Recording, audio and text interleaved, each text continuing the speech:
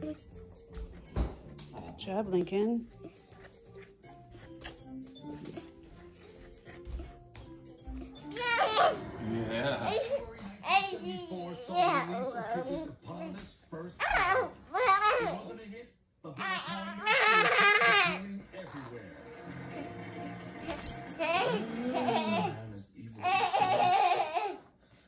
That's where those cheeks and necks look really good.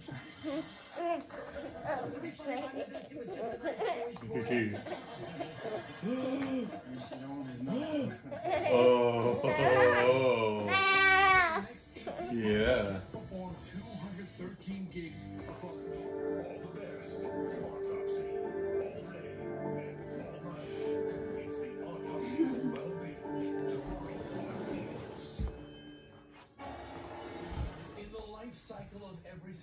Can you lift your head up, Lincoln? Descent to huge stardom can become a curse.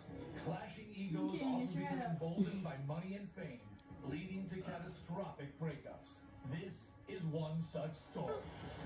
Whee! After 10 years fronting the band, in almost any other band breakup story, that would be the end of the road. But not for Van Halen. Yeah. November 1985. You turn around. Desperate Oh, there we go. Frontman, Eddie Van Lincoln. Halen reaches Oh. Sammy Hagar, one of rock's biggest solo artists. I get a call from Eddie Van Halen saying, hey man, you know, how you doing? It was flattering. Uh-huh. I just, every arena in America, you know, I'm just going, why would I join a band, you know? Uh-huh. Whee! Sammy agrees to fly down to LA to uh-huh. meet Eddie.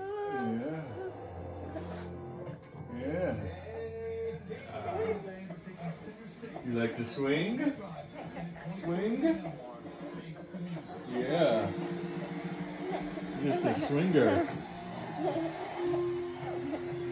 It seemed like the peak of our popularity. We stopped. Yeah. had a huge role in Yeah. Kiss. He sort of like looked at as sort of the mastermind behind the scenes. Incredibly, incredibly important in believing in the band. Partner Sean Delaney was instrumental in defining the band's rock personas. Uh, he was very precise in telling the guys. So put your makeup on.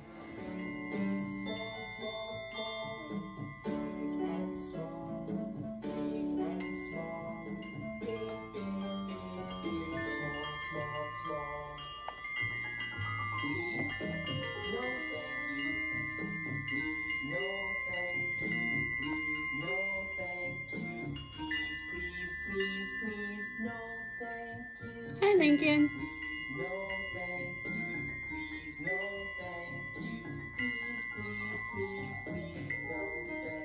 Good job. You did a good job.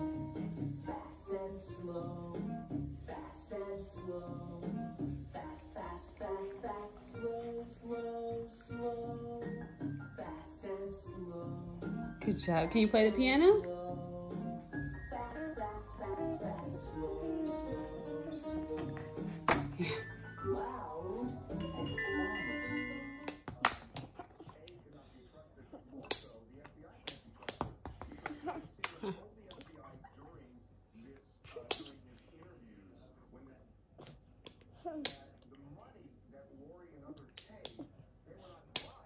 Please.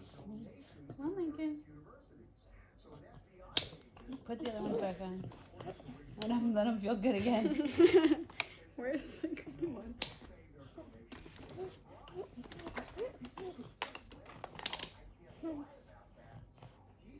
Whoa! Two at a time. Not messing around, are you, Bubba? He just uses his thumb. And I just using his thumb though. I know, Lincoln. Try to use your whole hand. You try and help him. Adrian. Have it like,